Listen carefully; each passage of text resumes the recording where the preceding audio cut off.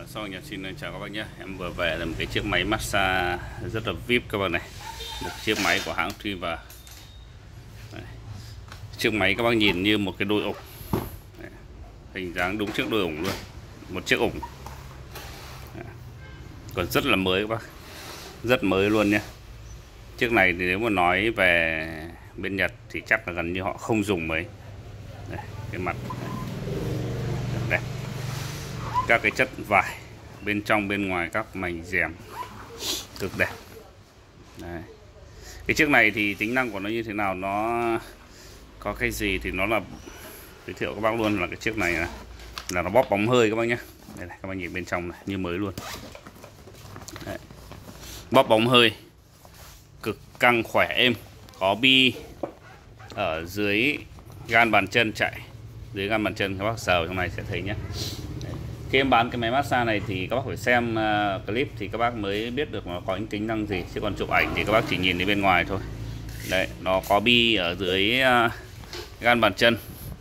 Rồi là bóp ở phần uh, bàn chân. Bóp phần bắp chân. Đấy em sẽ cho nó chạy. Khi các bác cho chân vào các bác khóa mở khóa này ra. Trên máy này các bác nhìn uh, có ba bài tự động này. có ba bài trên này nhé ba bài bóp này chuyên sâu về từng mục gì thì các bác sẽ dùng thử các bác biết hoặc các bác dịch ra. Đây. Cái này là ba cái à, cấp độ.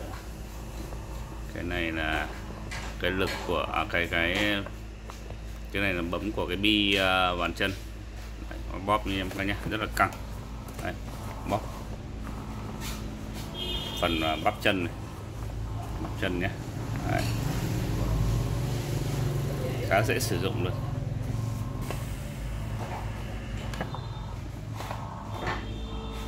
cái bóng hơi các bạn, siêu êm Đấy.